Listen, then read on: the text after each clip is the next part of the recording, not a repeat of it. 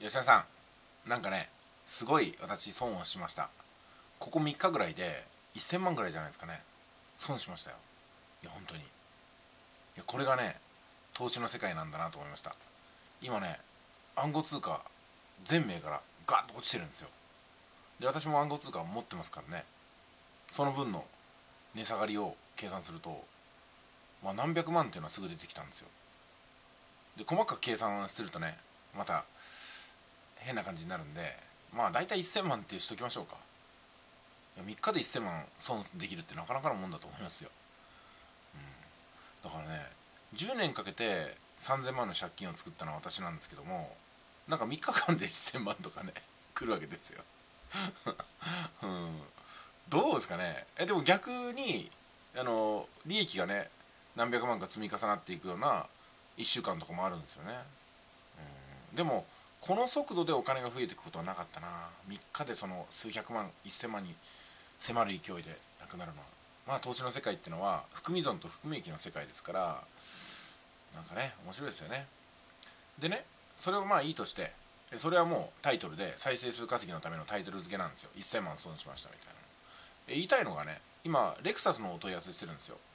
私の問い合わせてるレクサスは1110万円するんですけどもえっとこれをねあのお問い合わせすると何社かに問い合わせするとメールが来たんですけどもこのメールの書き方がね結構いいなと思ったんでちょっと読まさせていただきます。えっとねえー、現あ久保様のサポートを担当させていただきますみたいな丁寧な挨拶があってでねこの情報付加価値をつけてるんですよ。売れるための。これさすがだなと思いました。昔とは違うなと思いましたね。現在中古車市場が売買で大変盛り上がっていることをご存知ですか？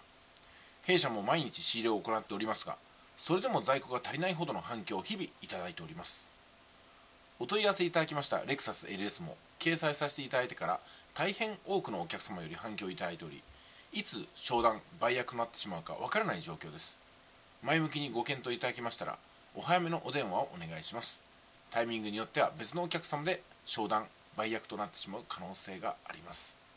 と書いてあってちょっとね焦らしてるわけなんですよ。いや実際私がこれだと思ったやつは売れると思いますよすぐに。だから余計におやべえなと思うわけなんですけども次の一行。当店には他にも LS4 分60や LS600H もございますのでこだわり等ございましたらおすすめの1台ご紹介させていただきますということでもし仮にこれを逃してももっといいのが他にあるから大丈夫ですよってこともちゃんと押さえてるんですよね。いやこんな書き出しでいろんな交渉とかそれからオプションとかサービスとかっていうのがガーッとね長文で並んでるんですよ。だからねもう半分くらいこれ買うしかないみたいな気持ちになってるところにで万が一買えなくても他のやつで頼っていこうかなと思って完全にこれねロックオンされてるわけですよ。でサービスの質とかレベルとか価格交渉が可能なこととかで、えー、出荷時のね納車時のいろんなメンテナンスとかあのなんですかパーツですよね。エアロパーツとかってことの書いてあるんですよね。いやこれはね上手にね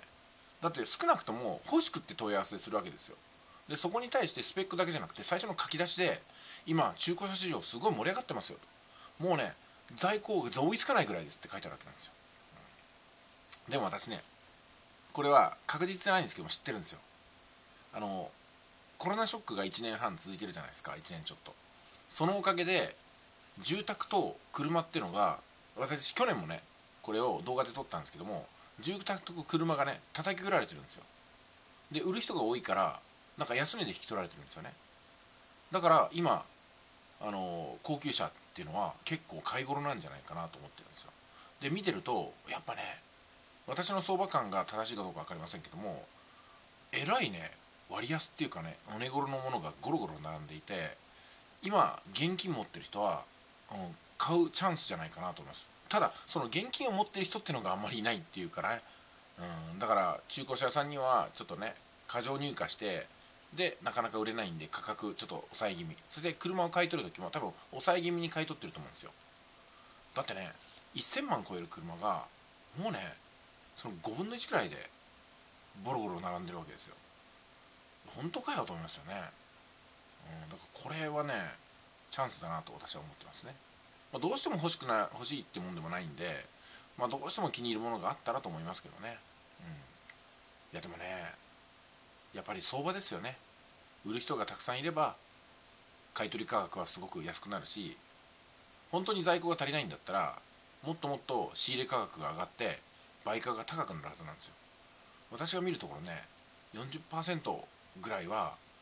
普段より安いんじゃないかなっていう風な感覚ですね、うん、